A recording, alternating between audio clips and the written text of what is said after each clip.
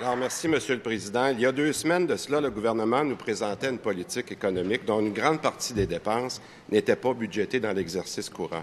Depuis, nous avons eu droit à l'annonce de trois autres politiques, mais aucune explication sur les sources de financement de celles-ci, puis on apprend qu'il y en a deux autres à venir. Monsieur le Président, nous savons depuis plusieurs semaines déjà que ce gouvernement ne respectera pas le déficit zéro cette année. De plus, ce gouvernement nous présente des plans qui sont flous, financés par la carte de crédit et remettant en cause les équilibres financiers pour les prochaines années.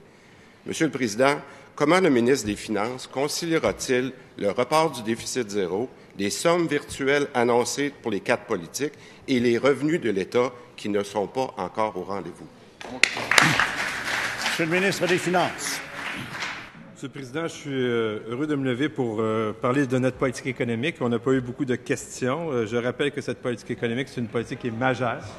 Politique qui englobe à la fois des mesures de court terme et des mesures de long terme. des mesures structurantes, des mesures qui, vont, qui s'attaquent aux, problèmes fondamentaux de l'économie québécoise. Il y a entre autres là-dedans une politique de, de recherche et d'innovation qui va faire en sorte qu'il y aura plus d'innovation dans les entreprises au Québec. Il y a aussi une stratégie industrielle qui euh, vise à ce que nos PME, en particulier, investissent plus, s'automatisent, se modernisent, euh, se verdissent. Donc, faire en sorte que nos entreprises euh, manufacturières soient plus productives et qu'elles soient à même de réussir mieux sur les marchés extérieurs. Je, vous rappelle, Monsieur le Président, que les exportations québécoises ont diminué de façon importante sous l'ancien gouvernement, en particulier vers notre principal marché que sont les États-Unis. Je vais conclure en disant aux collègues que, euh, évidemment, nous contrôlons les dépenses, il le sait très bien, euh, que euh, nous allons déposer une mise à jour dans les prochaines semaines qui fera état de la situation. Cela étant, nous sommes un gouvernement responsable, nous l'avons montré par notre contrôle exemplaire des dépenses. Hein? Premier complémentaire, M. le député de Lévis. je suis surpris d'entendre la réponse du ministre des Finances, Monsieur le Président, parce que justement, le ministre des Finances nous a même refusé un document. Nous avons demandé, j'ai la lettre ici que je vais déposer, demandant les revenus et les dépenses de l'ensemble des organismes et fonds spéciaux du gouvernement pour mieux comprendre la croissance réelle des dépenses. Les représentants du gouvernement à la Commission des finances publiques s'y étaient pourtant engagés.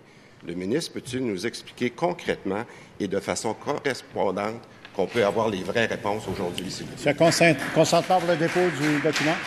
Consentement. Monsieur le ministre des Finances.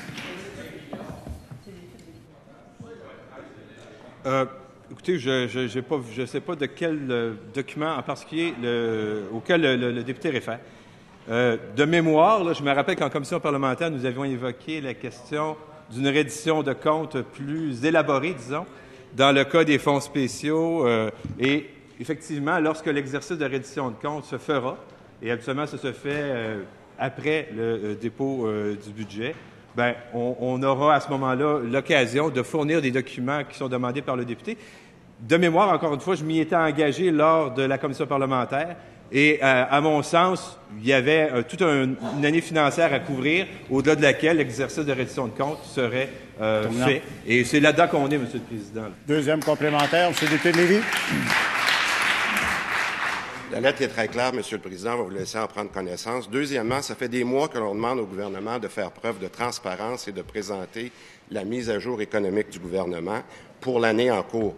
Monsieur le Président, on est à veille d'élection. Le ministre des Finances peut-il s'engager, excusez-moi, excusez-moi, peut-il s'engager aujourd'hui à déposer sa mise à jour économique avant les élections? Monsieur le ministre des Finances. Monsieur le Président, euh, il y a des choses que nous avons l'intention de faire dans les prochaines semaines. Premièrement, déposer les comptes publics.